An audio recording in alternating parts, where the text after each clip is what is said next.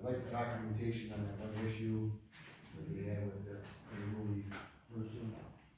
Uh, because if you don't do it right away. Yeah, and she was trying to go to different social media outlets and, you know, saying how, you know, horribly she was treated, and technically she had no business being there because she was not present. Go figure, eh? And her son was better behaved than she. All right, uh, Lakeville and Hanford just report, I don't see, oh yeah, you're hiding. Hi, Tim. Uh, the management district met July thirtieth, five thirty here at Town Hall. Our next, uh, scheduled meeting is, uh, annual meeting, August twenty-seventh at seven o'clock. Uh, I submitted a, uh report that was included in the town packet. Uh, if you have any questions, uh, Any questions? Um, just briefly, I would like to, uh, elaborate on the, uh, management district's discussion regarding the rezoning at N twenty-eight Stringers Bridge Road. Um, The current C four district is not a random configuration from the state, as been stated in the past, but follows the shape, contours of the land, and was seen as an important factor in serving and protecting local lakes, groundwater resurgence, the documented wetlands along the lake shore, and the sensitive area number seven of Lake Beulah, designated by the DNR in nineteen ninety-four. The formation of the zoning districts, including the development of area, was a combined effort of the Lower County Zoning Agency, SEWRPC, Southeast Wisconsin Regional and the U.S. Geological Survey, which provided mapping of the existing conditions in the town. Uh, since nineteen sixty, SEWRPC has also developed primary environmental corridors, which occur in conjunction with this C four district that protect the most important elements of the region's natural resource base. These important elements include remaining woodlands, wetlands, and surface water. C four district also falls within the area I feel designated as a sensitive area. uh, And the lake's habitat reinforced by the DNR with an area further classified as an area of special natural resource interest or as an area. Uh, the C four district designation is not a mistake or a random configuration.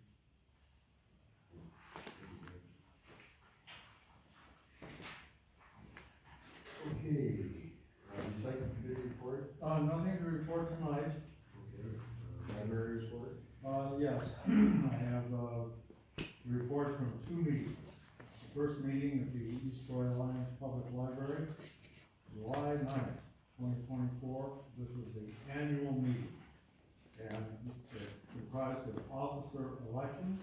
The president would be Christina Murphy, vice president Leslie Thomas, secretary Aaron Fremont, treasurer Kathy Gross.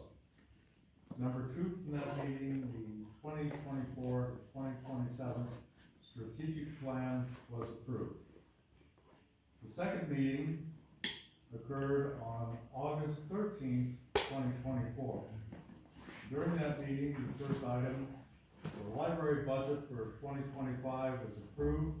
The budget includes extending Monday hours from a five o'clock closing to a seven o'clock closing. Budget now goes to the Village of East Troy Board for final approval. Number two from that meeting. Summer programs have included, the Children's Monday programs recorded seven hundred and forty-eight attendees, three hundred and fifty-eight total participated in the summer reading program. This is an increase over last year. Number three from that meeting, Director Bartoli reported that Prairie Lakes Director Steve Post reported that the Wisconsin Counties Association has agreed on recommended language for joint library funding issues. Post then presented the language and background to the Wisconsin Library Association legislative branch.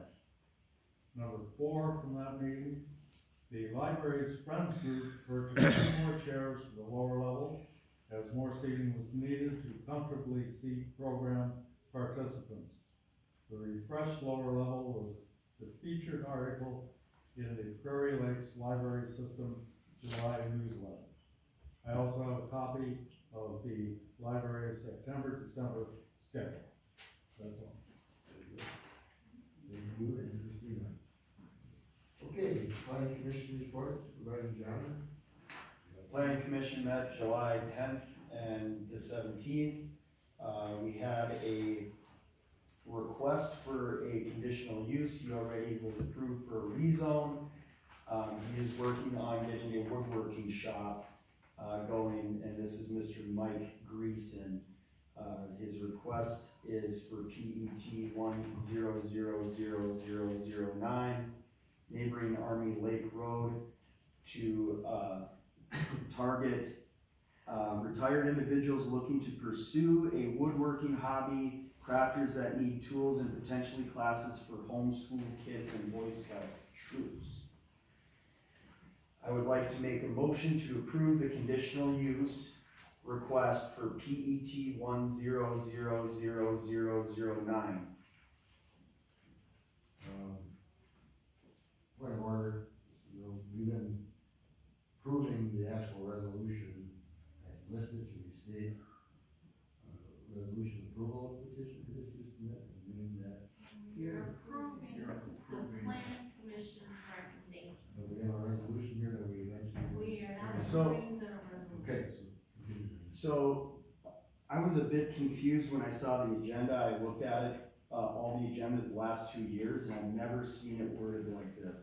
That's Is this because- something new, or, Because ever since Supervisor Church stepped down from being the planning commission designee, the people that have done it since then have struggled to spit out the proper res, the proper motion. The proper motion is to approve the planning commission's recommendation to blah, blah, blah. There we. But those first words have to be said. Okay. but don't you need a Why you positive, brought that because I, I, I see the same thing. don't you need to have a positive motion though? That would It is, kind of force me to make a motion. You're motion. making a motion to approve the planning commission's recommendation. That is a positive motion. Okay, Okay, so you did make motions as it stated. He didn't say by Mike Greason, be motion to approve the planning commission recommendation to approve the conditional use request for PET one zero zero zero zero zero nine neighboring N nine zero two two Army Lake Road by Mike Greason, DG two surveying. Applicant Daniel DeGrave. Okay, second. All right, we have a motion, and a second, discussion. I think it will be a useful, um, place for lots of people in the community. I think it's original. All right, any other comment? All right, all right, on the motion to approve the planning commission's recommendation, that PET one zero zero zero zero zero nine. Uh, all in favor, say aye. Opposed? None, motion carried. These are stupid house, we have all, sorry. For, for the next, uh, item on the agenda, given that the planning commission minutes are defunct, I request that we table this to the next meeting. And given that we got in- new information from everyone in the audience. Um, this is, that's true, no, Uh, the vote, the mo- okay, what do we have before us, your, Yes, motion to table. Your motion because of the because of the minutes and the new information, it would be beneficial for the Lake Beulah Management District to review what's been submitted by Mr. Stoss and for us to review, uh, some of the recommendations given to us. And as much as I'm sure he's, uh, the applicant is a little mad, I, I would vote to table this, uh, cause it has been going on for quite a while. Uh, there is a lot of stuff that we need to consider when we make this decision, and I don't think that the town, uh, is able to review all this in such a short time frame. The recommendations that the management district brought up was in, in regards to a conditional use which was not acted on by the planning commission, just the rezone. Right, and that's why, like, if we would get the rezone, it would be nice to go into this, uh, with our eyes open, like, what kind of conditions we should put on this property. But there is no conditions on a rezone. Okay, But what I think uh, supervisor is, uh, saying is there was a request made that the documents that were handed out by the applicant be reviewed by their, uh, by, by the Lake Beulah Management. Right, it, just so we can be as transparent as possible and, and have good optics on this, I know people are pretty passionate about this, and, um, yeah, so, Can we have that, I'll make a copy and pass it along to Mr. Bergman right now. Uh, Excuse me, Chairman. we- Hold on one second. Wh- What we have handed out, what does that have to do with a rezone?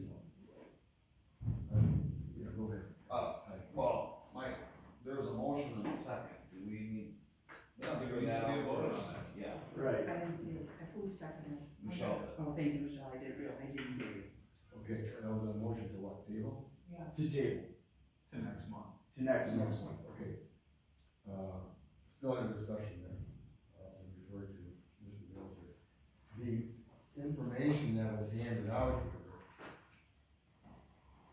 had nothing to do with the actual item that we're dealing with, I- the reason. It does. I, it, it does, there's It does. conditions that Lake Beulah Because- Management That's why I asked. I'd like to come in the middle on this. That's why I'm Mr. asking Chairman. the attorney here where, where I'm going here, because this, this is never covered with that. If it were just the letters that the planning commission had already reviewed, Mhm. I, I think you'd be correct. Okay. And even the county definitions probably wouldn't need to table for that matter. What caught my interest was the photograph and whether or not it shows a grandfathered use on the parcel in consideration.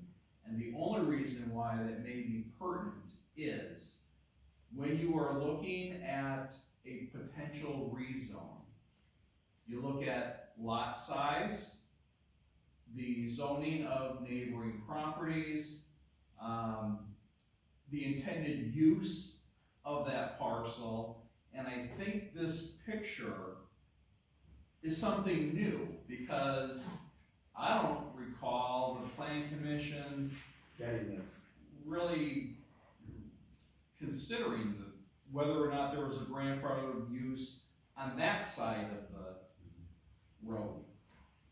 I mean, this is kind of new information to me, I, I don't know what the planning commission all review. Right, But that may be a reason. this be- was not submitted to the planning commission, this picture was not. It also has a cabin on there, so this, that wasn't even talked about, and that's what I found on the survey. I found it on the survey, I never saw a picture of it. And that's why I think it would be in the best interest of us to table this. Joe, Yeah. I, I wanna make it clear that the sensitive area of the lake is also a consideration, and the three that I mentioned before Could aren't the only things that you consider on a rezone. could you repeat those three, lot size, intended use, and what was the third? Zoning of neighboring properties, Thank you. and then environmental impacts. More than that. Sure. Yeah. Okay, yeah, and we, it, to review what they want for conditions also, and I'm not saying that a is gonna pass, I'm saying we have a lot of new documentation here that I feel like the board members, it would be beneficial for us to review also and going into the next meeting to make a decision. Well, the question would be then, should the plan commission, I mean, we're, we're talking about information, they were saying, we just get today, plan commission didn't have the benefit of it, and then we're gonna act on their recommendation without them There's already, already a motion and a second, so you have to, on the table. right. I have a question about the rezone. If the property was to be rezoned, mm-hmm. at that time, you put conditional uses with it then? Separate. Or that was, The rezone is separate than the conditional use. I would, yes. but I'm asking, if, if it was passed to rezone, at that time, is that when you set the conditional uses with it? No, because the plan We have to commission never acted on the conditional use. Right, and you go back to plan commission We have on to go back to. conditional Kick it around some use restrictions or requirements. It's more than that, because I think these are. Why is he talking? Yeah, This is John the board We're talking here. Finish that and for John had it, twenty-two. I'm just saying that there's a, he's proposing a marina, but there's a definite uh, ordinance on marinas that you have to follow, which is very complicated. I, I am, I get all, this is a discussion between the board, correct? Yeah, yes, but, Okay, but John, then we don't need comments from. yeah, the we board. don't, we don't need it from anybody, but I like, John, so John, you said you had a comment on this last discussion. Well, what I was gonna say is, in light of the information that I brought to you with the documented picture, with the timestamp of the picture, um, I don't What- timestamp on mine. I, I showed it to everybody. They wrote on the, they wrote on the back of the, uh, pictures. So basically, based on the information that I provided, um, and with your correspondence with Pam Shenzi from the DNR, she basically said that everything that's on that property in two thousand eleven, Piers Watercraft, moving forward, is grandfathered there. So what we're really talking about here is I'm allowed to have ten boats there. Am I gonna allow to have commercial boats, or am I gonna have personal boats? We're, we're That's totally, not what we're talking about. we're totally off subject here now, because that grandfathering issue, you're totally wrong. You don't grandfather boats, you grandfather piers. Read the letter. Piers, piers. Now, but that's not what we're doing here, we're, the request here was for a rezone, the commission used, the plan commission acted on the rezone.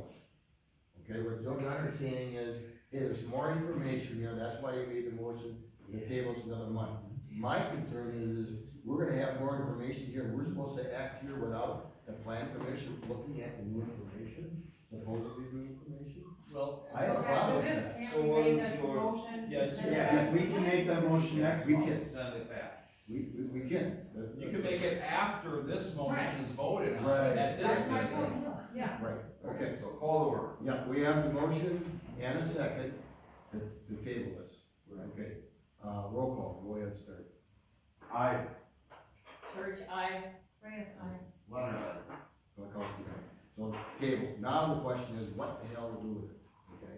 Because the information that we got here to do, to me, it's not really talking about rezone, it has nothing to do with rezone, boats, piers, nothing.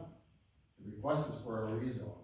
So if there's supposedly information here that leads to the question of the rezone, your plan commission has to look at all this, so I think it should get sent back to them. I don't know, I, I mean, it, it, it, it'd be inappropriate for me to say right now that we have this and we're gonna act on this now on our, on our own. That's wrong. So make a motion. Well, that's why his motion was made. Yes, I'll. that's why I made the motion, so we can review it. And I can But talk to we- guys like him and, and Joel Cook and see, like, get, get a little bit of infor, more information here. That's all I'm Did you asking make for, the a little more motion? time, yes. To- To table it and it No, Yes, I, that's I done. understand that, but we now need a motion to send it back to the planning I commission. don't wanna do that, I don't feel it's, it's, it's good yet. We No. can send it back next month after we review this. After we review it? Yes. I think it needs. No, that makes no sense. Yeah, we Because can't it do came to the planning commission from us, it needs to go back to the Yes. planning commission. It has to. All right, I make a motion that we send this, uh, The motion was, should Yeah, No. me too, send it back to the plan commission. And then at that time, well, whatever John would want us to do, you have to submit it in time for the next meeting, whatever that is. I have to resubmit a new application? No, No, Oh. you gave to the board. Oh. whatever, yeah, Get this before planning commission. yes, and that would also mean that anybody else that has other information would also have to submit theirs. Okay, and then at the we same. look A little bit here. Right, and then at the same time, that's gonna give, uh, Supervisor Johnner and, uh, Jen from the pla- uh, planning commission, that's gonna give them time to, uh, review the tapes, uh, adapt the minutes so the minutes match the videos. It's all recorded. Well, it's yes. not gonna be Jen and I mean, it's gonna be the planning It's gonna be the commission. whole plan commission. Right. Has to make amendments to it Cause the, and agree to those amendments. right, when I watched the videos and I read the minutes, there were a little bit of discrepancies. It was pretty close, but there were some indifferences. And If you, I mean, again, we want it accurate, we want it right. Of course. The record though, I mean, the tape is there, it's all there. I, I watched it a couple times. I'm sorry, did someone second the motion to return it to the planning commission? Thank you. All right, do we have a motion and a second? Yep. Any more discussion? Okay, what was the motion? To send it back to the planning commission. Review, review the submitted documents. More work. With new. Yes, okay, on the motion, to send it back to the planning commission, all in favor, say aye. Aye. Opposed? Nay. Motion carried. All right, uh, next item is request Walworth County to address the highway safety concerns of Stone School Road and County now. Um, there's several moving parts on this. Chief, can you talk for a little bit? Yeah. First of all, the committee, uh, already gave some information stating that, um, they have a they have a, a new design coming up on this. And And number two, uh, as Jim knows, it's appropriate that we have a motion. I'm not in today, that we're on the record by the board saying, hey, county, please look at the safety of this intersection. You can say things like, you know, look at the speed limit, look at the design of that intersection, all of that. But we have to go on record saying, we request as a town to have the county highway safety committee not only look at it, but make appropriate changes, you know, as soon as possible. Okay, so what did you, the words that you had, when you discussed it with the committee? on So, uh. Went to the, the highway safety, uh, committee meeting, um, and at that point, uh, Supervisor Reyes and her husband were able to speak. Um, at that time, the board kind of deferred to me, um, to, to talk about the intersection, some of the, uh, inconsistencies, um, at the, there. Uh, long short of it, I don't remember the magic words off the top of my head, but I know what I said, uh, prompted, uh, the, the commissioners, because having been part of that, uh, governing body, there's certain magic words that they need to hear in order to get it on the agenda to take a closer look at it. Um, after that was, was done, uh, Mr. Huff informed us all that, uh, that in Highway L is under uh, review for 2028, 27 or twenty-eight, I don't remember which one, two or three years out, at which point he, uh, wanted to bring to the attention of, the, and possibly have that intersection engineered. I am not an engineer, I don't know how you make a five-point intersection, a four-point intersection, um, but that's kind of what that needs, for um, some setbacks, especially with the school there. Um, it is my humble opinion that, um, I have enough, uh, evidence, uh, not necessarily from traffic crash data, which is what they really like to have at the highway safety. Uh, everything from Wisconsin DOT is very crash data driven. Um, but, uh, with the layout of the road, with the hill, with the speed limit, with the school, I think it's fairly reasonable to look at a potential thirty-five mile an hour school zone approaching that intersection, especially with, it's not a normal five point because of the offsets. uh, down by the village of Walworth Highway fourteen, if you've ever gone from Walworth to Darien, there's a six-point intersection. So that is a true cross with a road down the middle. You have good sight Is it by Whiskey Ranch? no, that, that, that, this is right outside the village of Walworth. It's a six-point intersection, but those intersections are symmetrical. So when you think of intersection as the cross, and then it has a road going straight through the middle, this is wonky, to say the least.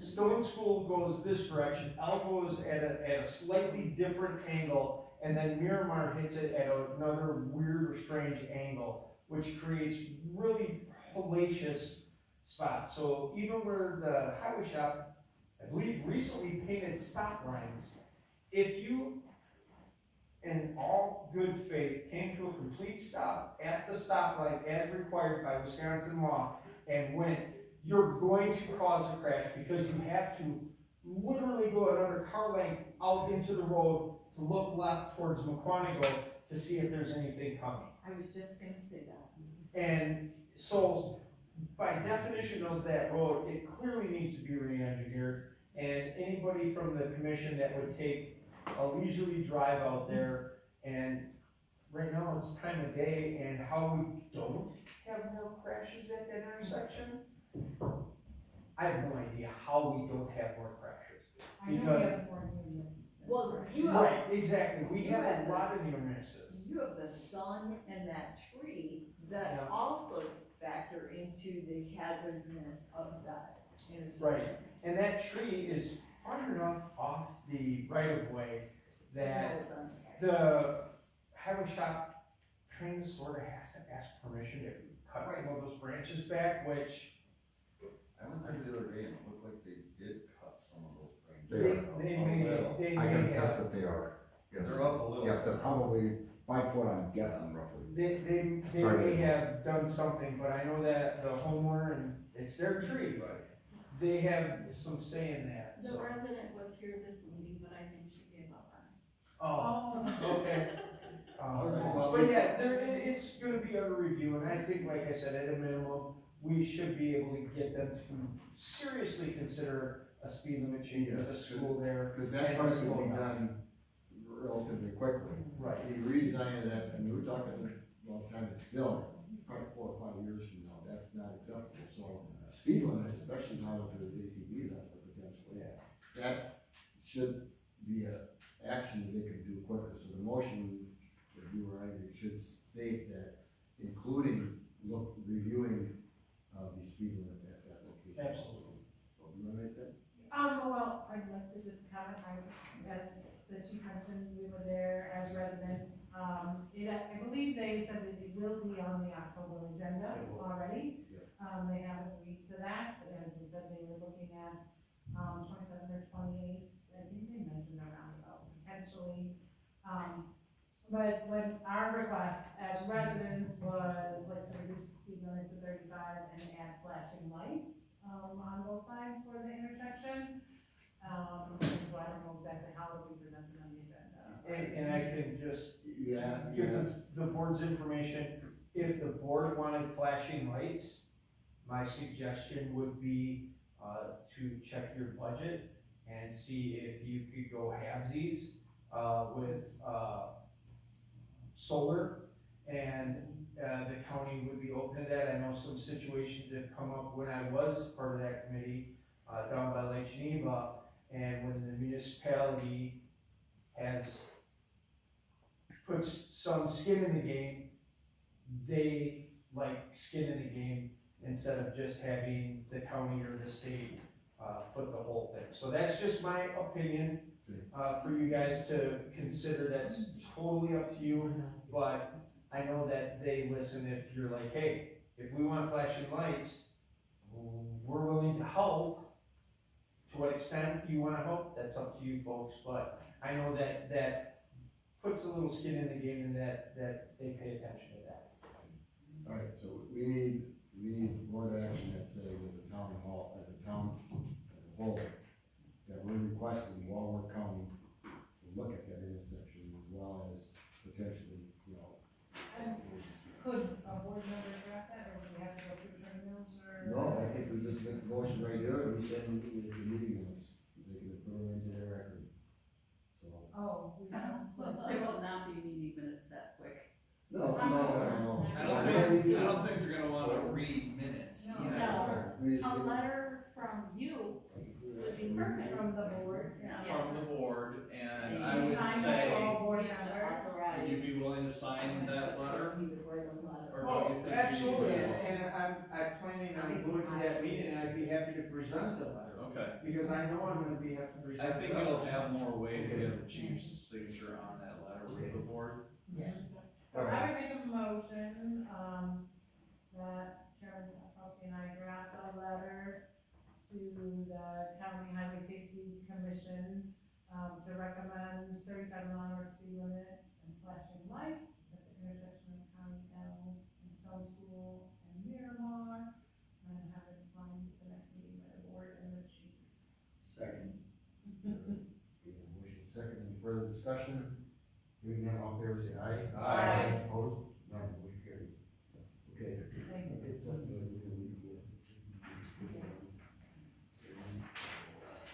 Okay, Joe, the next meeting, the safety meeting with the county is October first. That's what I heard.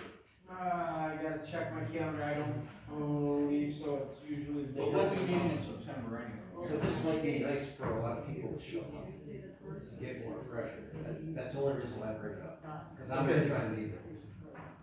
all right, uh, next item on the agenda is an update on Lake Beulah Culverts and bridge repairs that we talked. Uh, Joe wrote a, uh, little note here, I believe it's in the Uh, first of all, you know, if you wanna know the status of the, of these bridges, It would be, basically, I wanna ask for permission to, uh, make motion to keep researching, I'm trying to look at, uh, potential costs of replacing these, I made a call to, uh, Richard Hu, uh, Huh? He's really knowledgeable on this stuff about, uh, kind of like what Todd Shield was saying earlier about, uh, funding for replacement of these structures. Apparently, there's none right now and no grants available, but they're, they got a database going on right now and, um, they're working within the next two years to possibly get grant money. And I just wanna see like exactly how much it would cost. all right, all, all of these are in process, everything you mentioned. Okay, let us go through in order. Marysville Road, there's nothing structurally wrong with that, the bridge is fine. Todd's got a couple of bolt holes that were broke off and leaving us, just so the lines can come through. So there's nothing the matter with strings. Uh, well, I will tell you is when that bridge is replaced, it should go higher. Uh, we've seen the picture, John, when we're, you know, pontoon, so I was next word pontoon, they went through there, heads were close. So there's really nothing wrong with that bridge, okay? The other one we talked about, Beulah Heights, that one there, we've been watching that one for a long time. That is on the program for six to twenty foot, and we will need funding for that unless we just pull the trigger at budget time, that's when we do this. Of saying, let's put that one on the plate for next year, that would need to be engineered, okay? Uh, that bridge, Could we use ARPA funds for that? ARPA's done, so. Okay. And the, and the bridge, uh, funds, uh, the program that Richard was mentioning, we got hundred percent paid for a bridge right there, Beach Road, okay? We were lucky, uh, because most times it's eighty twenty, that's hundred percent, so that one is good, that was the one that, that would really mess up the town if that bridge could, now when posted or closed, okay? Uh, Stringers is not sinking, by the way, Stringers never. No, it's not sinking, it's rusting. But the one by, uh, Dockside, potentially, uh, review the pictures of that, the historic pictures of it, and it's lost a foot and a half of headspace. Uh, Twenty-one inches. Since Maxine Huff was there when they put the bridge in. But, so that one there, what really happened is, you have the steel plate arch, you have compression of the, of the top. All the heavy loads going over there actually pushed that one down Yeah. the top of it, but looking at how the sides were shaped and comparing the two photographs, it appears that that one could have potentially sunk, okay? It could have, not all of it, but I bet you it's, that's a contributing factor. We've applied twice for that bridge. That job was two and a half million bucks, okay? That's gonna need funding. Now, Beulah Heights, that's one that we could probably potentially fit into, um, our, our road budget, or new roads budget, okay? But that one there, when we do dockside, need, actually that whole road there has to be reconstructed to some extent, okay? There's also some erosion issues, with water coming down the hill from the west, South.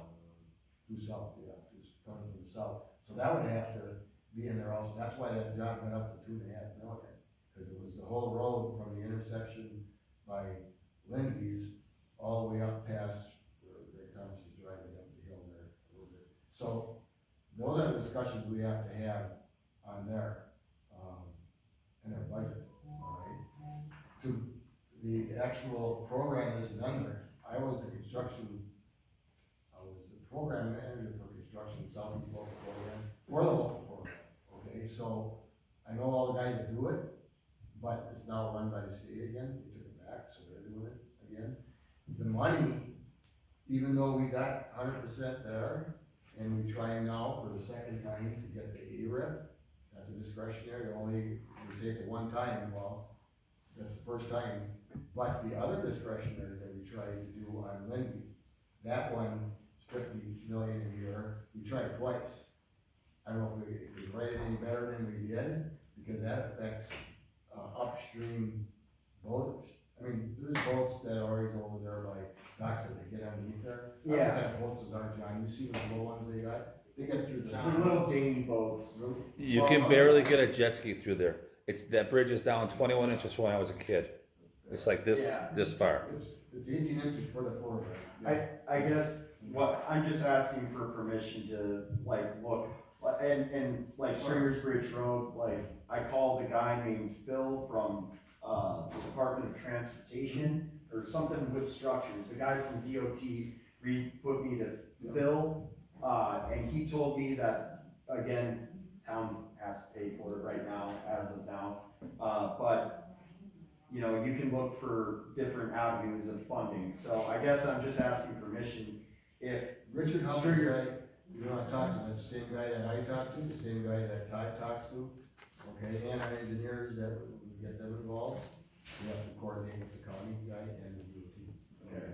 But if you, you wanna chase it around, those grant programs are online and they're set cycles, but the thing is, you pay money to apply, just like the one we're talking about here, the one's the cheap one, next one, not here. But then, when you build it, you have to design and construct it according to federal standards, which really increases the, cost. Now, are you getting a better bridge? Yes, okay, is it worth that much more than one that we design ourselves, like when we replace, uh, Carver School Road? A look at that one, uh, we have a price on that, but the inflation on road bridge construction is absolutely crazy. I mean, you may think that's, you know, a hundred thousand, no, that's half a million, okay? Um, this job here is not gonna go for the three and a half million, because we're not gonna, I don't think we're gonna raise it up. We can't. Uh, But the money you have to spend at the beginning, then you may not get it, okay? But you